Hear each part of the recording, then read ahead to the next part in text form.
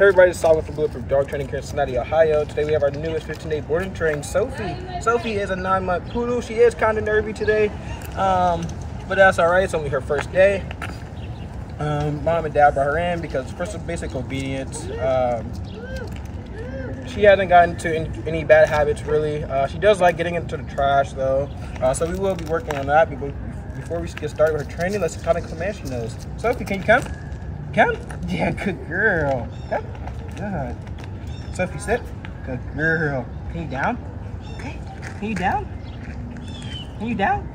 No? Just stare off into the distance? Okay, can you? All right, there you go. Good girl. As you can see, her, her walking isn't too bad. Uh, we'll check back in 15 days for her major transformation. Thanks for choosing Bulletproof.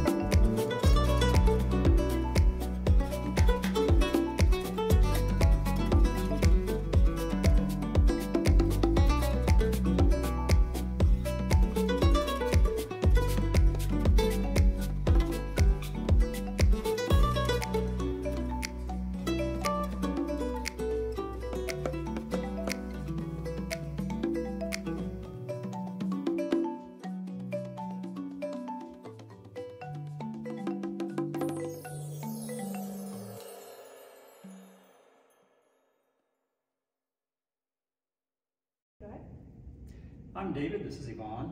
We have with us Sophie and Teak. We let, uh, they've been at bulletproof proof training for the last 15 days. Casey and Solomon had them, They've trained them every day, uh, worked with them every day. I think they had a great time. They sent us videos and uh, photos every day, and every time we got the videos, the dogs, and the, and the photos, the dogs looked like they were just having a great time. I think they really enjoyed the training and being able to do things. And we're hopeful, we're looking forward to being able to take them more places because they, they are trained. They just have the basics. The 15 days is really just them learning the basics. We still have our work cut out for us to uh, ingrain that training and work with them every day, and we, we look forward to doing that.